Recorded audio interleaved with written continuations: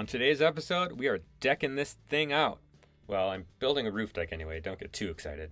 But I really am excited for this episode. I've been wanting to get back to this project for a long time, so check out my previous episodes where I installed the aluminum ladder rack. The forward section of the ladder rack supporting 520 watts of solar, leaving just enough room at the back for a 5x7 roof deck. Now I have to wrap up a couple things with the ladder rack, but then we're going to move on to the deck. And the deck is comprised of steel strut channel and western red cedar. Mmm, I can smell it already. So good. So let's get started, like I do with pretty much every project. Let's go save big money at Menards. Alright, to start off with, we are heading to the slotted steel strut channel. So after a lot of contemplation, I landed on this product because it's relatively inexpensive, it's super versatile, they come in different profiles, different finishes, and it's strong stuff. Um, maybe not this one, John, put that one back. Now I know what you're thinking. Why are you going with steel? Everything else up to this point has been aluminum. Well, honestly, it's cost. Now they do make an aluminum strut channel. I can't find it anywhere locally. So I like McMaster Carr for things like this. They have a great selection. Uh, prices seem competitive. They do get you with shipping a little bit, but their shipping is fast. Anyway, you can see here a 10 foot stick of this stuff. It's about $53 before shipping, so that's no good. And just for fun, let's check out extruded aluminum. Uh, it comes in different sizes. Uh, people love this stuff for framing things, for making different deck platforms. I've seen it used. The one and a half inch stuff, another 10 foot stick, $87 for the hollow or $104 for the solid. So it's just no comparison. The price of this has gone up a lot since the pandemic. It's too bad. So anyway, for 30 bucks I can get 10 feet of this steel strut channel that's galvanized coated. Plus I'm going to paint it so it's going to look great. So yeah, I ended up getting three. I'm only showing two, but I got three of the low profile strut. That's the nice thing about steel too, is I can get by with the low profile. It's going to be plenty strong. And you can't forget the channel nuts, spring nuts. They go by different names, but I went with the 3 8 size. Got a few packs of those. Next, we're heading to the hardware department. We're going to pick up the matching bolts and washers, both stainless. Next, I decided to go with these exterior coated construction lag screws to hold down the decking. And speaking of decking, that's what we're picking up next. We're going to head out to the lumber yard and pick up the western red cedar.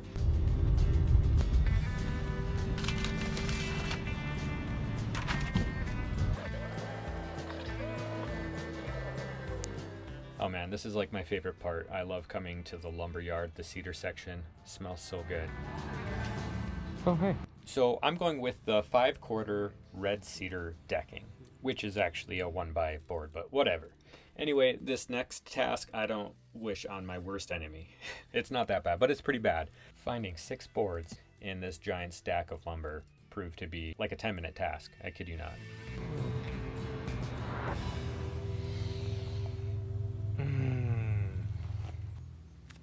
All right. There it is. I got this. I can do it. okay, I'll give you a little sneak peek so you can see how this comes together. So everything sits on top of the crossbars of the ladder rack. That's the strut channel. On top of that is a layer of cedar, and on top of that, cedar decking. So the first thing I had to do is install the last crossbar bracket and the last two crossbars. Now, this should have been completed weeks ago with the rest of the ladder rack, but if you saw my previous videos, you'll remember I had a little setback.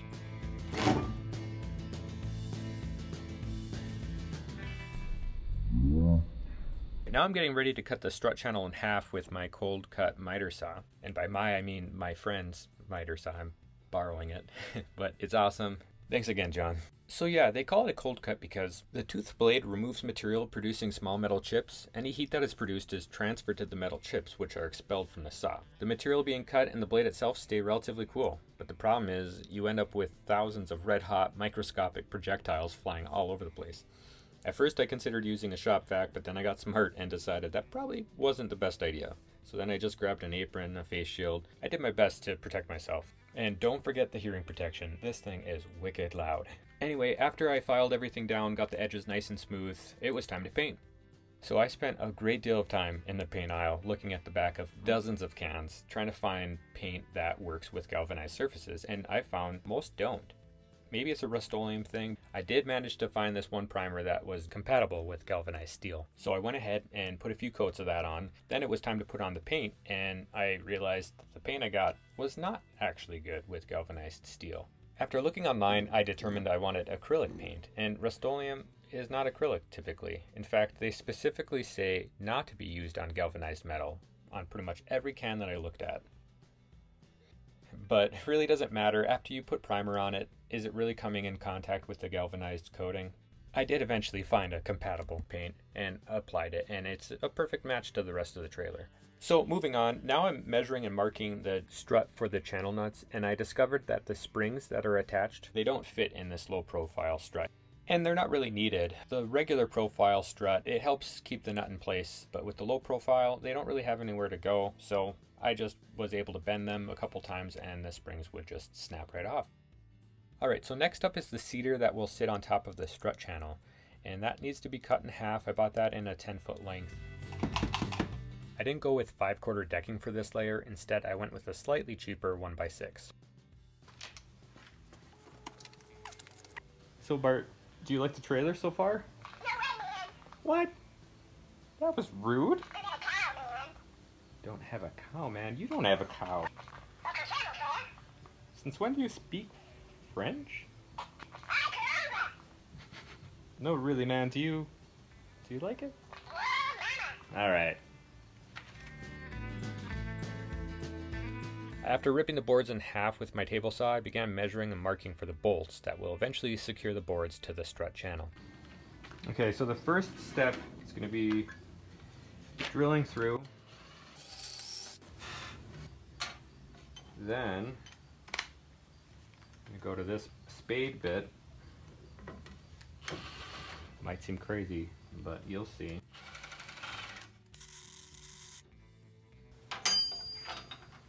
Go to my bigger bit. Goal is to take, this is a 3 eighths, uh, one and a half inch bolt, stainless, and a 3 eighths washer. I wanted something that was really, really gonna hold on and not split the board as I tighten it down. And keep in mind, this entire board is going to be supported by that strut. I can afford to go a little bit deeper. Okay. Say we're about halfway through the thickness of that board, which is, I don't want to go any more than that. But that's, that's a beautiful thing. All right, now I just have to do that 20 more times.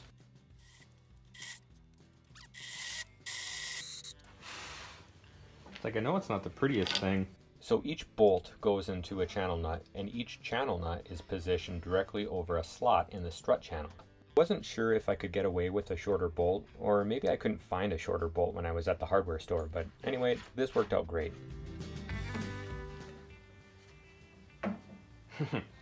That's a beautiful thing. That's not going to go anywhere. All right.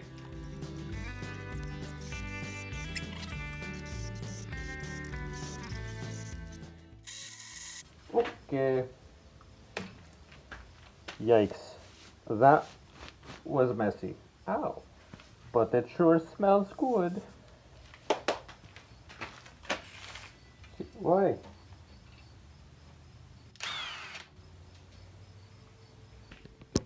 Mm-hmm. Alright, so now it's time to cut the cedar decking. So it was at this point that I realized I made kind of a costly mistake. You know the saying, measure twice, cut once?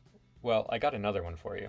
Check your building plans first, or else you'll be buying lumber at least twice. So I bought 10 foot boards thinking I could cut them in half and I'd have two 5 foot boards. I'm building a 5 by 7 deck. The problem is, I got the orientation wrong. Uh, turns out I needed the 7 foot length for my deck boards. At least I realized this before I cut them to 5 feet. That would have been an even more expensive mistake. Alright, so now that the prep work is all done, it's time to put the strut channel up on the ladder rack. I was having a little trouble getting the strut attached to the crossbars of the ladder rack. I ended up having to pre-drill, and then I used the biggest self-tapping screws I could find to attach the strut to the crossbars. So each strut comes in contact with three crossbars, and at each crossbar, the strut is secured with two screws, so every strut channel is attached to the ladder rack with six screws total. I don't think they're going anywhere. So it's worth mentioning here that the strut channel, which will be the supporting framework for the decking, think of them as the deck joists. They're spaced out 16 inches on center, which is typical for decking. I was really working up a good sweat at this point. Anyway, the next step was attaching the cedar to the strut channel. That actually went pretty smooth, but then came the fun part of actually putting the decking on. The nice part was I was finally able to climb off the ladders, get up top, and be in a more comfortable position, but now I had the very daunting task of driving 120 lag screws into the decking. First, I spaced out the decking with a carefully selected piece of scrap wood. Then I hand selected another piece of scrap wood and made a simple template for pre-drilling the deck boards. I decided to offset the template with every other board. I believe this should lessen the chance of the underlying board splitting down the middle. I also pre-drilled the decking and underlying cedar as well as countersink every hole with a spade bit prior to driving in the lag screws, all in an effort to prevent future wood splitting and increase the overall rigidity and lifespan of the deck. These were a lot of extra steps that maybe not everyone would take, but when you're dealing with wood and you're dealing with a structure that's going to see a lot of vibrations, a lot of movement, I'm going to do everything I can to make it as solid as possible to minimize future repairs.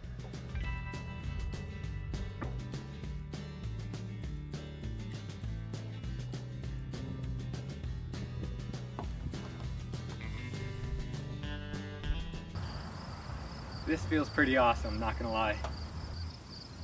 So glad that's over. I don't think my video is gonna do it justice just how much work it was. I knew the roof deck was gonna be a pain in the butt. I just knew it was. It didn't disappoint. But I'm very happy with how this turned out. This is rock solid.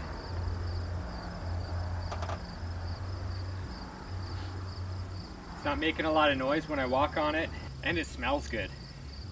Every time it rains, a little dew in the morning, oh, the aroma of red cedar. A lot of people are gonna say, I would treat that decking, or I would buy pressure treated lumber. But red cedar is naturally mold, mildew, rot, resistant. This should last years, and you don't have to do anything to it. I mean, sure, you could seal it, but it just smells so good. So how can you cover that up? And I can picture having this thing parked at an awesome campsite. Maybe you got a beautiful sunset. You can just uh,